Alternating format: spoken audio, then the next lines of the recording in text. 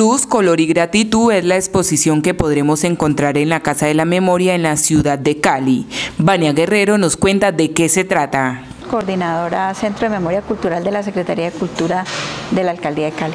Exposición que tenemos en este momento en, el, en la casona del Centro de Memoria Cultural eh, se llama Luz, Color y Gratitud, el pintor Franklin Erazo.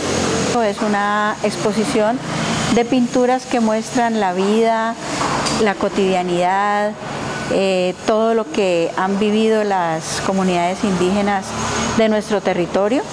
Es una exposición en el marco del Festival Inti Raimi.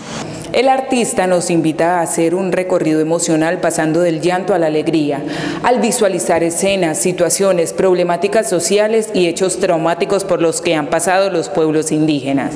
Acciones que aunque los agreden, los han convertido también en ejemplo vivo de temple y resistencia y lo que queremos con ella es hacer un homenaje a la multiculturalidad de la ciudad y a todas las comunidades indígenas que viven en nuestra ciudad.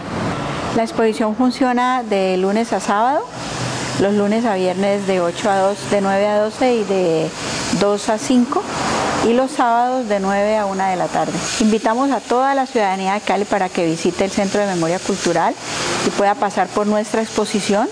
Esta es una casona colonial muy bonita que vale la pena conocer y visitar una exposición tan bonita como la que tenemos. Todos los caleños y extranjeros pueden acercarse a la Casa de la Memoria Cultural en Cali a ver esta exposición de manera gratuita. Reporta para La Voz, el noticiero de nuestra gente, Luisa Fernanda Delgado.